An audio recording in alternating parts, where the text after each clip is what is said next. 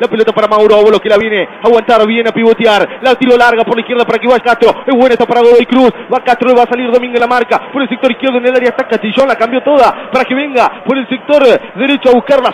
La dejó atrás para San Román. Por bajo está Castillón. Le pega el primero. Tapó Sosa. Tapó Sosa otra vez Castillón y la pelota termina. Rebotando en Tobio. No sale el peligro. Está el gol de Óbolo de cabeza. ¡Gol! ¡Gol!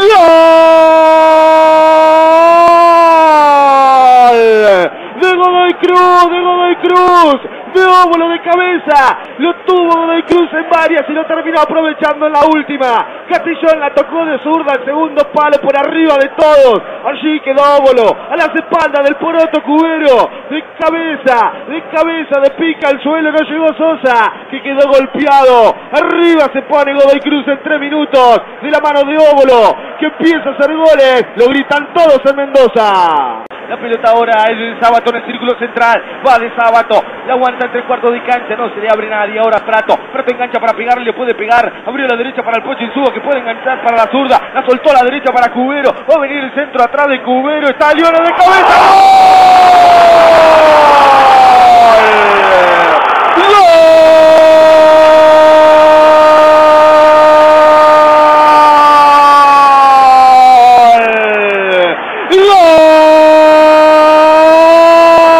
¡Gol!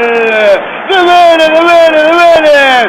Apareció el chiquitín, el chiquitín con la 21 en la espalda, el peluche a Lione, apareció para meter el cabezazo en el primer palo, apareció Cubero por la derecha, tiró el centro y a Lione en el primer palo, en el palo izquierdo de Carranza abajo el cabezazo, pone ahora el empate Vélez, Arriba fue a Lione y terminó ganando el chiquitín. Al Lione, al Lione la llave del gol en Vélez. Cambia el partido ahora cuando no lo merecía Vélez porque había entrado dormido en la segunda parte.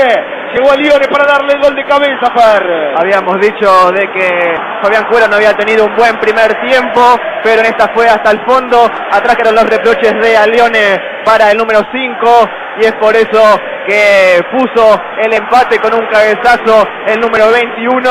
Gran jugada de, de Vélez, que no lo merecía. En el primer tiempo había sido un poquito mejor. Llegó el empate para el Fortín. Tiene más resto Vélez para los últimos cinco minutos, Fer. Sí, porque se dedicó el conjunto de Cruz a esperar la contra y ahora sale rápido, intenta el conjunto de Vélez. La dejaron hacia el medio para Prato, le pegó.